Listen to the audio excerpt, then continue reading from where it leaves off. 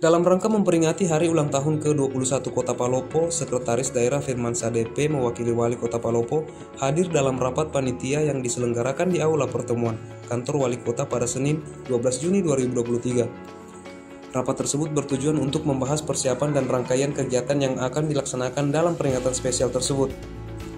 Rangkaian perayaan Hari Jadi Palopo tahun ini bakal diisi berbagai kegiatan menarik, termasuk kegiatan utama dan kegiatan pendukung. Selain rapat istimewa dan peresmian kantor DPRD, bakal diadakan juga malam harmoni kebersamaan yang akan menghadirkan Palopo Fashion Carnaval 2023. Karnaval ini mempertunjukkan berbagai etnis dan kelompok kerukunan masyarakat yang ada di kota Palopo, seperti kerukunan masyarakat Jawa, Lombok, Makassar, Bali, dan kerukunan masyarakat Tionghoa. Selanjutnya pada Juli akan diadakan Libukang Ilan Festival yang menampilkan konsep lomba bala-bala dan lomba perahu hias Festival ini akan menjadi ajang untuk menampilkan kreativitas masyarakat Palopo dalam menghias bala-bala dan perahu dengan tema yang menarik. Tak hanya itu, dalam perayaan ulang tahun ini juga akan digelar lomba dongeng dan pidato dalam bahasa daerah. Peserta lomba berasal dari pelajar mulai tingkat SD hingga SMP, sesuai dengan peraturan daerah tentang penggunaan bahasa Luwu.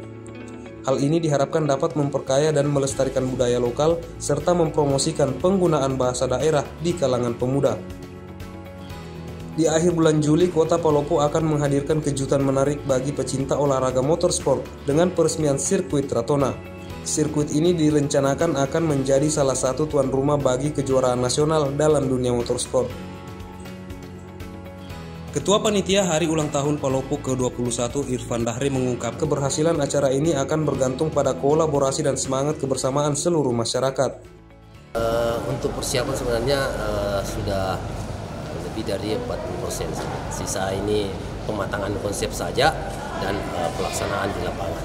Karena ya, tentunya uh, ini membutuhkan partisipasi semua pihak, semua elemen masyarakat ya, karena uh, suksesnya acara ini tergantung dari bagaimana kolaborasi dan kebersamaan semua uh, elemen.